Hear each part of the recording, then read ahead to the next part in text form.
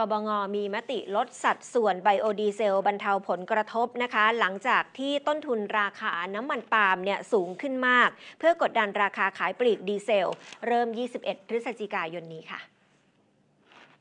นายพีรพันธ์ สารีรัฐวิภาค รองนายกรัฐมนตรี และรัฐมนตรีว่าการกระทรวงพลังงานบอกว่า ที่ประชุมคณะกรรมการบริหารนโยบายพลังงาน หรือกอบง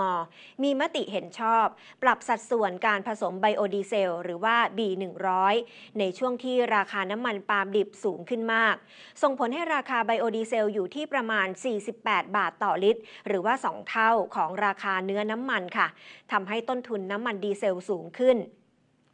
ราคาขายปลีกก็จะสูงขึ้นตามไปด้วย ดังนั้นเพื่อบรรเทาผลกระทบต่อประชาชน และเพื่อให้การจัดการราคาขายปลีกน้ำมันเชื้อเพลิง เป็นไปอย่างมีประสิทธิภาพ ที่ประชุมกบงจึงกำหนดสัดส่วนการผสมไบโอดีเซลใหม่ โดยน้ำมันดีเซลหมุนเร็วธรรมดาไม่ต่ำกว่า 5%จะไม่สูงกว่า 7%โดยปริมาตร และน้ำมันดีเซลหมุนเร็ว B20 ไม่ต่ำกว่า 19%และไม่สูงกว่า 20%โดยปริมาตร ซึ่งการปรับลดสัดส่วนน้ำมันไบโอดีเซล ครั้งนี้ ไม่ส่งผลกระทบต่อเครื่องยนต์แต่อย่างใด